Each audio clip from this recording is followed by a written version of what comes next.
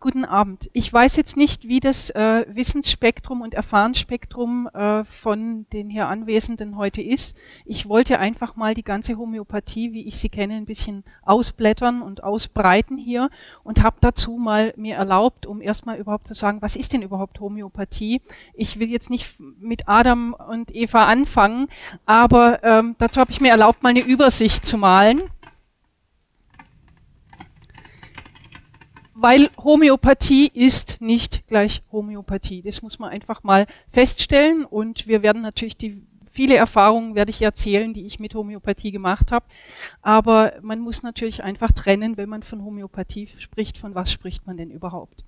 Und ähm, es gibt zwar von der sogenannten klassischen Homöopathie den Anspruch zu sagen, wir sind die Homöopathen, wir, wir und sonst niemand.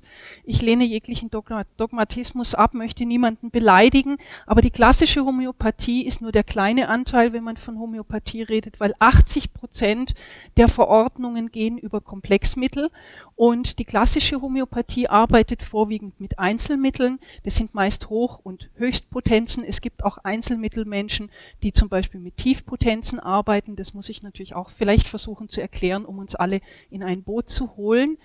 Also äh, unter einer Hochpotenz versteht man aus meiner Sicht heraus eine D30, eine D200, eine C30, eine C100, eine C1000. Das sind Hochpotenzen. Und dann gibt es natürlich viele klassische Homöopathen, die noch die erst bei der C1000 das mitbieten und überhaupt anfangen, die Therapie. Dazu muss man natürlich wissen, wo greifen die überhaupt an. Aber äh, wir werden versuchen, das einfach Stück für Stück hier aufzudröseln. Ich persönlich habe mit Einzelmitteln, Hochpotenzen ganz hervorragende Erfahrungen gemacht. Die erste Erfahrung vor 25 Jahren ähm, als ich Au-pair-Mädchen war in Südfrankreich, da hatte Charles Eric, der Säugling, der war gerade sechs Monate alt und der hatte über 40 Grad Fieber. Und dann warf meine Au-pair-Mutter mir das Baby zu, das glühte regelrecht und meinte, zwei Globuli, Belladonna, in die Flasche, das Fieber wird sinken. Tschüss. Und dann ist sie auf einen Abend gegangen, auf eine Abendveranstaltung. Deutsche Mutter hätte sowas niemals gemacht. Und ich bin dann da gestanden als doppelter Stier der Materie sehr verpflichtet und anhaftend, guck diese zwei Kügelchen an und denk mir, was ist denn das für ein Gogoloris? Kann das überhaupt helfen? Und ich habe es aber gemacht, brav, einfach in die Fläschchen reingetan. Charles Eric hat die, das Fläschchen ausgesaugt, das Fieber, Fieber sank nicht, nein, es fiel äh, regelrecht runter. Also die kamen abends dann drei Stunden später wieder heim und das Fieber war unter 39 Grad gesunken, also mit anderen Worten auf dem besten Weg der Heilung. Das war so der erste Effekt, den ich mitgekriegt mitgekriegt habe, wo ich gestaunt habe, wie kann denn das überhaupt sein? Jetzt muss man aber wissen, dass äh, Tollkirsche, Belladonna, ist eine äh, Pflanze, die in unseren Wäldern wirklich üppig gedeiht. Und wenn äh, man ein bisschen unterkühlt sich hat, so an Tagen wie heute durch den Wald läuft und man möchte es schön warm haben, dann ist es natürlich ideal, mal ein, zwei oder drei Tollkirschen zu essen. Ich will niemanden animieren dazu, ähm, Tollkirschen zu essen, aber man muss, um zu wissen, warum sind sie eine gute Fieberarznei, verstehen, dass Homöopathie natürlich bedeutet, Ähnliches mit Ähnlichem heilen. Oder Hahnemann, der ja auch ein Apothekerlexikon gemacht hat, hat es so schön formuliert, eine Arznei muss die Erkrankung auslösen, die sie dann später auch im richtigen Maß eingenommen heilen kann. Und mit Belladonna kann man Fieber erzeugen, klipp und klar. Und drum ist sie eine in der geeigneten Dosierung wunderbare Fieberarznei. Und deswegen ist sie einfach auch immer wieder bewährt bei all diesen Zuständen, wo eben der Kopf rot wird, wie bei der tollkirschen Vergiftung letztendlich. Da erinnere ich mich an eine ganz kleine Anekdote. Da hatten wir den Christian Retsch in Hamburg besucht und am interessantesten sind ja immer die Klolektüren bei fremden Leuten und bei ihm war es die klassisch homöopathische Zeitung von 1900 irgendwas. Und dann schlug ich einen Artikel über Belladonna auf und dann hat der klassische Homöopath, verzeihen Sie mir ein bisschen schimpfen muss ich, weil das ist so ein ewiger Kampf zwischen denen, die nur so sehen und nur ihre Mittel sehen und denen, die eben ein weiteres Spektrum sich da aneignen in der Homöopathie. Und dann stand da also über Belladonna drin und um einen Selbstversuch zu machen, nahm ich eine Tollkirsche und spuckte sie sofort wieder aus. Also Christian, Claudia und ich, wir sind auf dem Boden gelegen vor Lachen, weil ich denke, wenn man wirklich eine Arznei kennenlernen will, dann muss man sie am eigenen Leib einfach ausprobieren, ohne Angst, weil Angst macht, verändert auch die Arzneiprüfung. Das heißt, es kommt einfach wirklich was anderes raus. Und ähm, ja, also eine Beere hätte er nehmen können, dieser klassische Homöopath, um wenigstens eine minimale äh, Giftwirkung mitzubekommen. Da wäre er immer noch nicht tot umgefallen.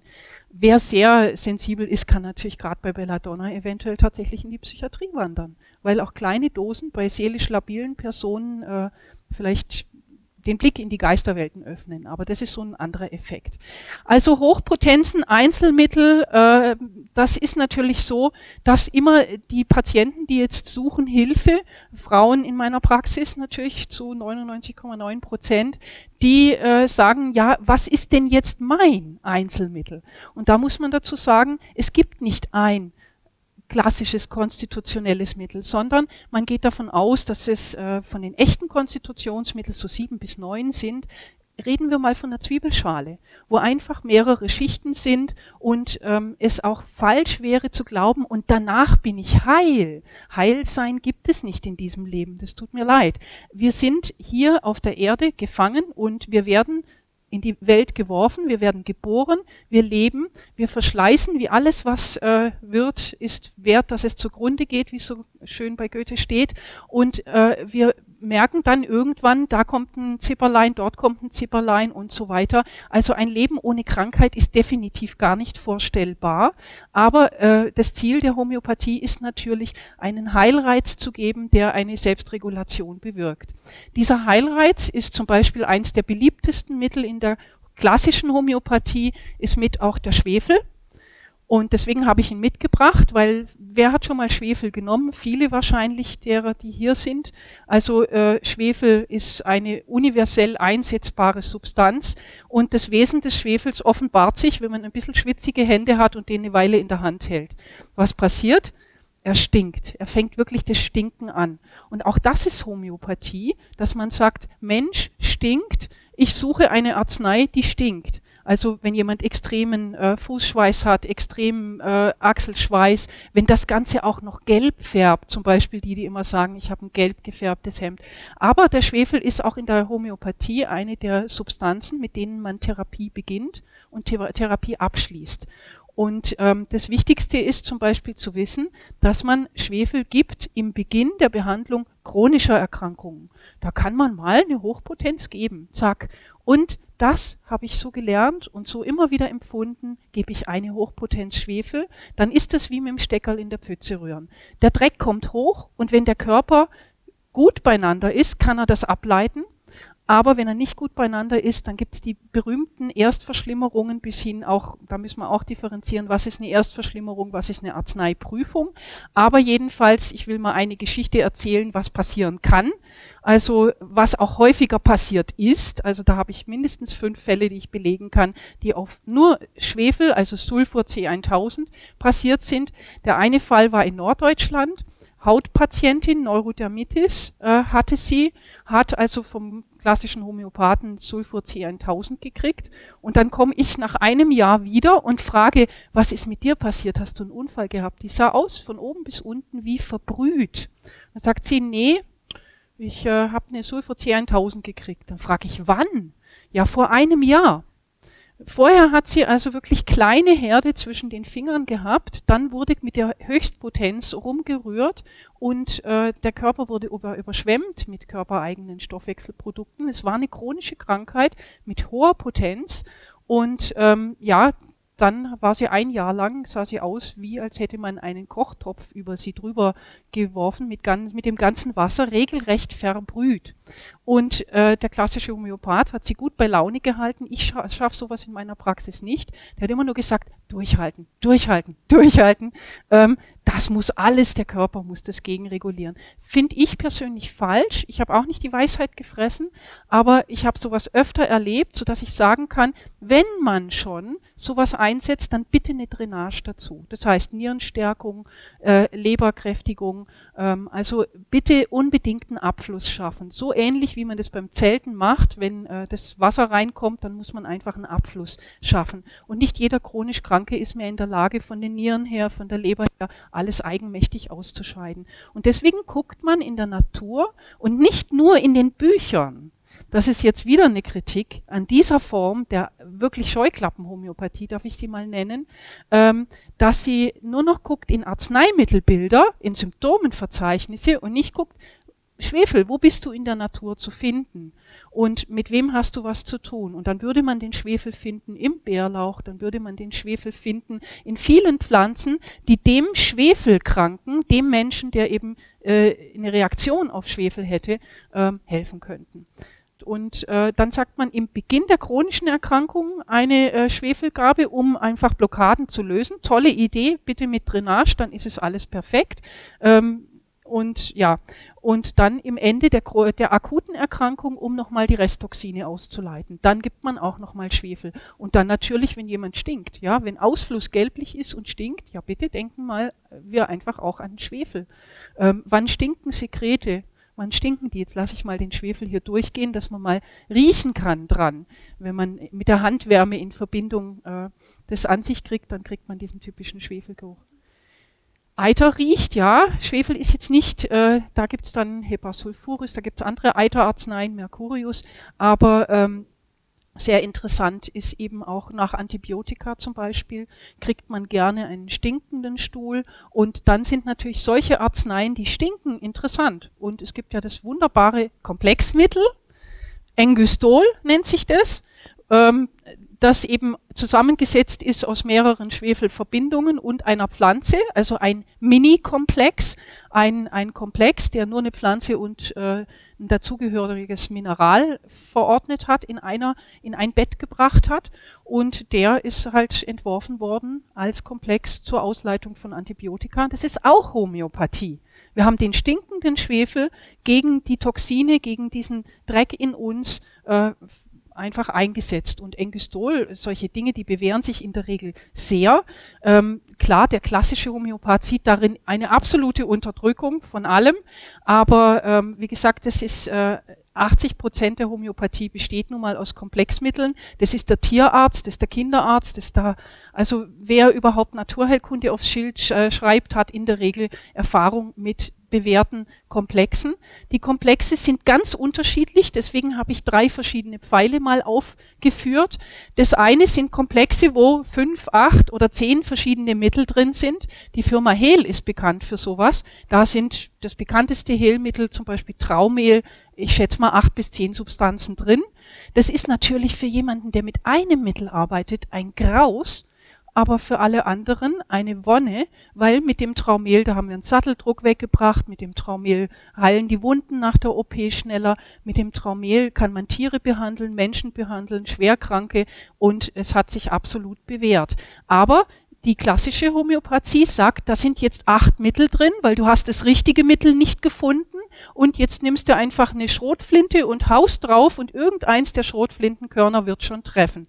Und das ist eben die Kritik, dass das die Schrotflintenprinzipien wären, mit denen therapiert wird. So nach dem Motto, äh, man setzt halt alles gegen Blasenentzündung in einen Komplex rein, irgendeins oder zwei oder drei der Mittel werden schon helfen. Ähm, diese Schrotflinte kann extrem wirksam sein, werde ich gleich aus meinen eigenen Erfahrungen berichten. Dann gibt es natürlich noch Komplexe, die nicht einfach so zusammengesetzt sind, nachdem Prinzip, so jetzt holen wir die fünf bewährtesten Mittel und die drei zweitbewährtesten Mittel gegen dieses eine Leiden, werfen die alle in eine Flasche rein und geben die den Leuten, sondern da gibt es Leute wie zum Beispiel in der anthroposophischen Medizin, die Vala-Arzneien, die Veleda-Arzneien, die auch nach dem Homöopathieprinzip verordnen, aber jetzt in dem Moment äh, sitzen Philosophen und Mediziner an einem Tisch, überlegen, wir haben ein Problem, Schlafstörungen beispielsweise.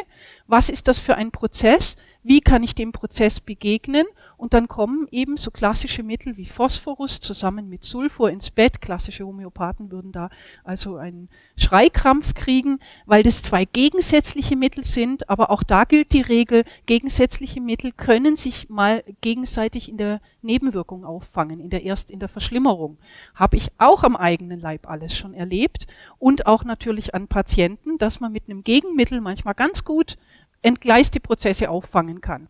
Anthroposophen setzen in der Regel ein Mittel in den Mittelpunkt, so ein Kardinalmittel, dass sie sagen, ich möchte aber jetzt zum Beispiel eine Schwefelarznei gebären und jetzt suchen sie noch in einem Naturreich unter den Tieren, unter den Organen, unter den Pflanzen, unter den Mineralien nach einer Ergänzung, die absolut philosophisch gesehen dazu passt und eben kein Schrotflintenprinzip ist, sondern den Menschen auf den drei Schichten erreicht, Tier, Pflanze, Mineral, organisch, körperlich, also äh, seelisch und geistig, weil all diese Reiche natürlich Schichten in uns ansprechen. Das heißt, das ist die schlauere Schlo Schrotflinte, aber gar nicht eigentlich wirklich die Schrotflinte, weil die arbeitet wirklich mit mehr Mitteln.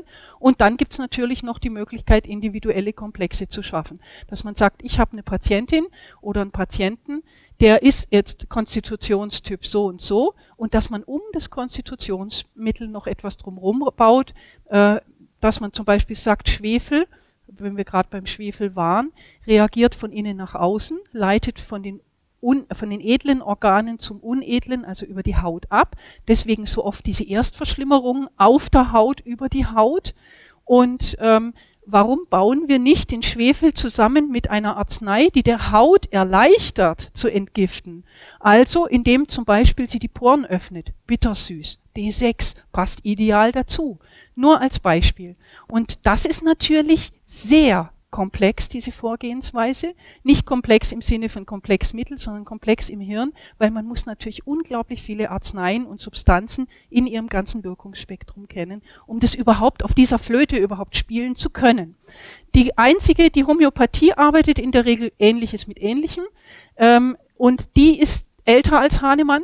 Hahnemann hat sie aus der Volksmedizin aufgegriffen ähm, Paracelsus hat sie schon seinerzeit aus der Volksmedizin aus, äh, aus, aufgegriffen, denn äh, die eigentliche Homöopathie, ähnliches mit ähnlichem Heilen, existiert natürlich seit endlosen Zeiten in der Volksmedizin und zwar aller Völker. Weltweit kann man beobachten, dass zum Beispiel die Menschen bei Gelbsucht gelbe Arzneien gegeben haben, also gelbe Pflanzen und bis heute kann man allen gelben Pflanzen eigentlich nachweisen, dass sie eine Galle-Wirksamkeit haben, Leber-Galle-Wirksamkeit haben und tatsächlich genau auf dem Gebiet eingesetzt werden können. Auch da gilt wieder, eine Arznei, die die Galle anregt, kann im Einzelfall auch eine Gelbsucht hervorbringen. Ähm, und deswegen kann sie sie auch heilen. Das heißt, eine gewisse, gewisse Macht muss in der Ursubstanz natürlich schon drin sein. Aber da haben wir natürlich den Ursprung der Homöopathie eigentlich in der sogenannten Sympathiemedizin, dass man sagt, der Kranke ist gebeugt, die Arznei soll auch gebeugt sein. Der Kranke ist faltig oder es spröd, also muss, wenn der Knochen spröd ist, die Arznei auch Sprödigkeit aufweisen. Und das ist natürlich ein Ding, das hat vermutlich schon der Neandertaler betrieben, dass er verglichen hat und gesagt hat, hier, rot entzündet, da, rote Beere, sieht doch ganz ähnlich aus wie das, was ich hier habe. Vermutlich ist das der Ursprung und keiner weiß, wo es angefangen hat. Wir können jedoch Zitate bringen, die ganz sicher Hahnemann von Paracelsus abgeschrieben hat, weil Paracelsus war zur Zeit Hahnemanns nicht besonders gut angesehen und deswegen wurde er nicht zitiert sondern er hat versucht, die Lehre aus sich heraus zu begründen, um nicht angreifbar zu sein, damals, Hahnemann. Ähm, was Hahnemann angeht, ich habe ein paar Bücher dabei, zum Beispiel das Organon, durchaus interessant, haben wir uns durchgebissen durch alles. Jetzt will ich äh, das einfach mal so stehen lassen. Jupp, und na, das war falsch, so rum geht's nicht. Genau, jetzt müssen wir es nur drehen. Damit ich nicht immer dieselbe Frage gestellt bekomme, was die Potenzen angeht. Auch das ist die Gretchenfrage der Homöopathie. Das heißt, genauso wie man sagt, ich bin klassischer Homöopath, ich bin Komplexmittelhomöopath, genauso ist es, der eine macht, arbeitet mit D-Potenzen, der andere mit C-Potenzen, die auf 100 verdünnt sind und die LM 50.000er. Ähm, ich kann nur mein Spektrum aufblättern. Ich habe also eine C1000 vielleicht dreimal in meinem Leben, in meinem Homöopathenleben, das jetzt bald 20 Jahre dauert, angewendet. Ähm, und meistens bediene ich mich, wenn ich rein organisch arbeiten möchte, also was weiß ich, jemand hat einen Leberschmerz, dann gebe ich lieber eine D6, zum Beispiel Chelidonium, ähm, weil das ist das gelb blühende Schöllkraut, gelb zu Gall, Galle und Gelbsucht und Organotrop D6. Der Max zum Beispiel, der Dr. Amann, verordnet am liebsten die D8, wenn er Tiefpotenzen verordnet, weil es gab natürlich Energiekurven, die man mal gemacht hat und wo nachgewiesen wurde, energetisch am reichsten und am wirksamsten sollen angeblich die D8er sein. Sieh an, es gibt ähm, therapeutenspezifische Mittel. Das heißt, beim einen wenn Sie zu dem Arzt gehen, wirkt die D6 wohl am besten, wenn Sie zu dem Arzt gehen, die D8 wohl am besten. Aber ähm, die D8 scheint wohl energetisch auch recht aufgeladen zu sein. Mittlere Potenzen eher zum Regulieren. Einmal am Tag genügt meistens eine Gabe. Hochpotenzen, das ist dann schon, wenn man das Gefühl hat, man hat konstitutionell jemanden erwischt. Da geht man nicht mehr nur davon aus, ob jemand jetzt Schmerzen in der Leber hat, ein Stechen oder ein äh, Kneifen, sondern da sollte dann der Typus Mensch dazu passen. Ähm, die CED-Potenzen sind sehr häufig die, mit denen Komplexe angemischt werden, weil die üblichen Firmen, die eben so Komplexe mischen wie Staufen Pharma, DHU, ähm, die Spagyra, die arbeiten natürlich, die haben auch, stellen uns vorwiegend eben die D-Potenzen zur Verfügung, die sind 1 zu 10 verdünnt. Die C-Potenzen, ähm, mit denen habe ich zunehmend Freude, also seit einigen Jahren, weil die C30, das ist die Potenz, mit der ich so Erfahrungen gemacht habe, von wegen Minuteneffekte, Sekundeneffekte. Man wirft eine Arznei und schon ist der Kopfschmerz weg. Und das kenne ich von den C30ern, äh, die ich sehr gerne gebrauche, wenn ich zum Beispiel Kopfschmerzen habe nach Hitze, dann Belladonna C30 zum Beispiel. Oder äh, wenn man sich gestochen hat irgendwo, äh, Staphysagria oder nach Katheter, Staphysagria und so weiter und so fort. Dass man einfach eine Akutwirkung erreicht mit einer C30 und und das ist als äh, homöopathische Taschenapotheke, da sollte man ein bisschen Erfahrung haben, aber relativ dankbar. Ich äh, kriege relativ wenig Erstverschlimmerungen, muss ich dann dazu einfach auch sagen. Äh, die LM-Potenzen, die nutze ich immer, wenn jemand sagt, ich habe so viel Erstverschlimmerungstendenz und ähm, ich reagiere auf alles über, dann nehme ich sehr gerne die LM6, so eine tiefe LM-Potenz und jeden Morgen ein, zwei Tröpfchen oder alle zwei Tage und guck mal, wie es reagiert. Wird in der Regel super gut vertragen ähm, und ja, reagiert nicht so. Also ist nicht so, ist nicht so, dass es alles lostritt, weil viele haben inzwischen Angst, dass man Homöopathie gibt. Es kommen zu mir in die Praxis Leute, die sagen, ich habe so schlechte Erfahrungen, bitte, bitte, äh, ich habe Angst, wenn Sie mir jetzt Homöopathie aufschreiben. Und dann muss ich natürlich eine halbe Stunde hinreden, dass ich überhaupt eine D6 verordnen kann. In der Kinderheilkunde äh, ist zum Beispiel der Dr. Hirte, ist auch klassischer Homöopath, der gibt immer den Kindern auch konstitutionell eine D12 und die spricht sehr gut an, also immer die D12 drei Globuli, vielleicht nochmal drei Globuli und ähm, die D12 kann man natürlich bei sanften Gemütern auch verordnen. Aber das ist die Gretchenfrage. Da gibt's keine Schemata, die immer und ewig und auf jeden anwendbar sind und deswegen muss man sich halt einfach ein Gefühl, ein Gespür erarbeiten für dieses Thema. Ich will uns ein paar homöopathische Substanzen kurz mal vorstellen, was die in der Frauenheilkunde äh, für Vorteile haben und wie toll man damit umgehen kann. Und dazu habe ich uns noch eine kleine Dia-Serie vorbereitet. da muss ich nur hier vorne das Licht ein bisschen ausmachen. Ich hoffe, ich bin verständlich bis dahin. Das war zum Beispiel, also Belladonna habe ich ja gesagt, war die erste Pflanze, mit der ich homöopathisch Erfahrungen machen durfte als Au-pair. Die erste Pflanze, mit der ich selber geheilt wurde, war die Staphysagria.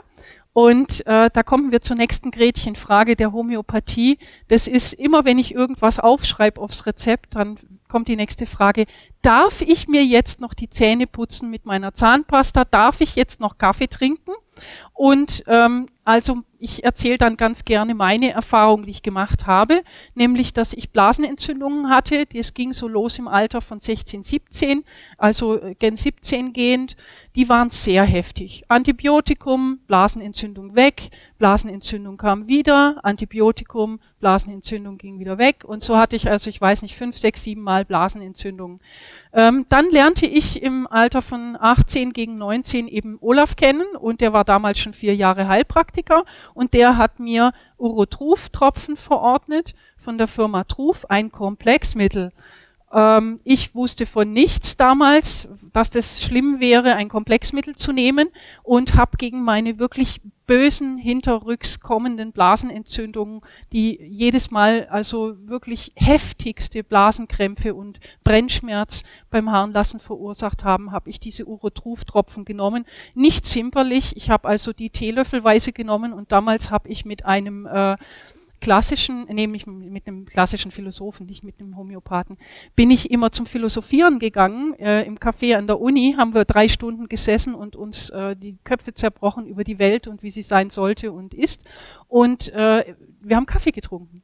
Ich habe am Schluss Urotruf in meinen Kaffee reingekippt. Wenn ich gemerkt habe, das flammt auf, Urotruf rein, Kaffee getrunken und äh, es hat geholfen. Somit hatte ich natürlich ein Vorurteil nicht, dass so mancher Mensch während einer Ausbildung beigebracht bekommt und nie selber überprüft an sich. Ich, hab, ich trinke meinen Kaffee, nehme meinen Globuli, ich merke, es wirkt. Ich habe mir Antibiotikagaben erspart. Urotruf, dieses böse Komplexmittel, hat mir im Kaffee eingenommen, ähm, Operation erspart. Es war damals stand an eine Harnröhrenerweiterung. Und äh, die hat der Olaf einfach weggeheilt, so mal nebenbei mit einem Komplex. Auch Traumel im Übrigen, Schrotflinte, kann abschwellend entzündungswidrig sein. Wenn man nichts anderes hat, kann man das auch gegen Blasenentzündungen einsetzen. Natürlich gibt es Fälle, wo eine C30 Staphysaria als Einzelmittel ähm, auch alles beseitigt. Im Orotruf sind jetzt D4 drin und Pulsatilla, Pulsatilla und Staphysagria. Zwei Hahnenfußgewächse, die beide sehr gegensätzlich vom Wesen sind. Sie wachsen zu unterschiedlichen Jahreszeiten. Sie wachsen an unterschiedlichen Orten. Sie haben unterschiedliches Erscheinungsbild, aber sie sind beide sehr stark antibiotisch im körperlich-organischen Bereich Potenzbereich D4, D6. Ich putze zum Beispiel die Männer ganz gerne. Wenn die Frauen Blasenentzündungen haben, gebe ich den Männern gerne auch mal eine Tiefpotent äh, Staphysagria D6. Ich sage immer, das ist mein Rohrputzermittel, damit die Frauen nicht so wieder infiziert werden. Aber man kann den Männern auch Urotruf geben, man kann äh, viele Wege gehen.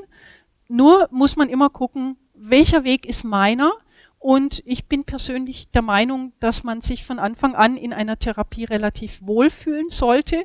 Und äh, ja, also Erstverschlimmerungen sind erlaubt, sollten aber nicht ein Jahr andauern in meinen Augen. Also dann ist irgendwo äh, ein Hau drin. Aber okay, also es gibt ja Leute, die brauchen das. Ne? Masochisten zum Beispiel, sag ich mal, so leise als Nebenmerkung. Ähm, also Staphysagria habe ich auch ähm, konstitutionell natürlich als Mittel äh,